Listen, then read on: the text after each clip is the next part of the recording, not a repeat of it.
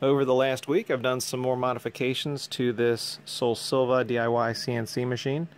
Initially, several weeks back, I 3D printed a holder for my Dremel 4000 and this is a really cool holder and for cutting lightweight stuff, certainly for foam or real soft pine, that would be fine.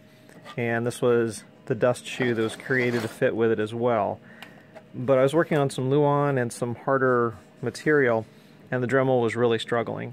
So I've 3D printed a different mount to hold a regular trim router. This was the first mount that I printed and I printed this in wood filament. So this is mostly wood with a little bit of plastic in there. And I used this as the format or the base to design this in Tinkercad. And I put this on the machine and it held the router fine, but I wanted some more support on the sides. So a little more time in Tinkercad, and this was created. Next thing is to actually cut out some, some stuff for a project I'm working on. I will share all these STL files on Thingiverse, and anyone that wants to modify these, change them up, please feel free to do so.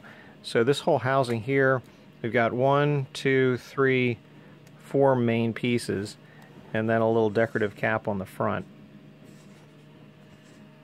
This will be the first test with the big CNC as far as actually cutting some wood. This is just a city skyline I was playing around with the other day in Inkscape. So that's been sketched out in JS Cut.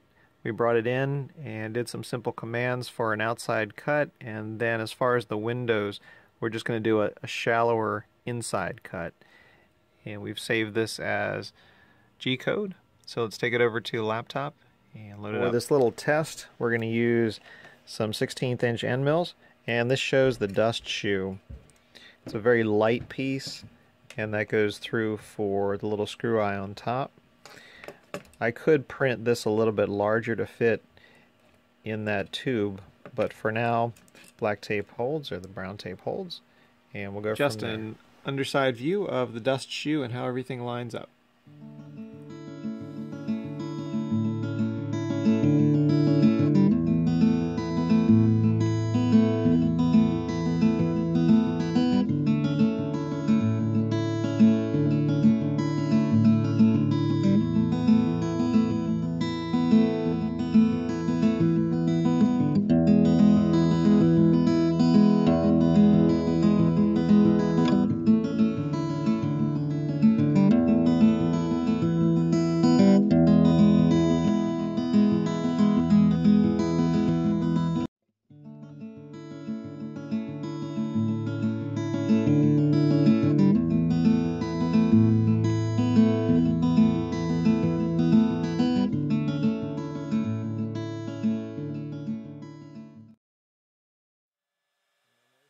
Cut with this modified DIY Solsylva CNC, upgraded to a trim router, and the cuts are pretty clean.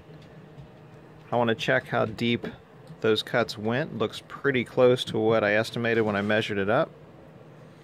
And so far, so good. At the back side, we are very, very close on the Z depth to what I measured on the right hand side here, it's about a 32nd, maybe a 16th shallow, but it's very, very close. Pretty good results from a first cut. This was just a test to see how tight the resolution was and how well the machine would work. And so far, I'm impressed. This is a machine built with wood, cutting wood, and sizes always change a little bit.